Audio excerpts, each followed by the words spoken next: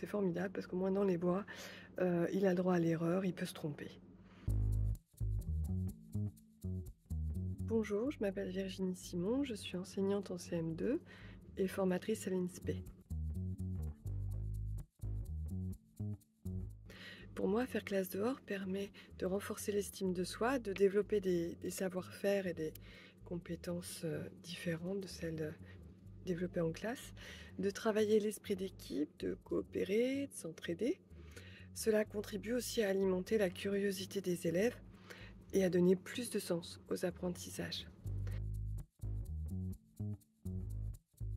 Euh, mes meilleurs souvenirs euh, proviennent des propos rapportés des élèves donc par exemple, c'est cet enfant qui n'aimait pas du tout lire, qui était en difficulté en lecture et euh, que je retrouve euh, euh, donc perché dans un arbre, plongé dans sa lecture, en train de, clamer le corbeau et le renard à ses camarades restés en bas.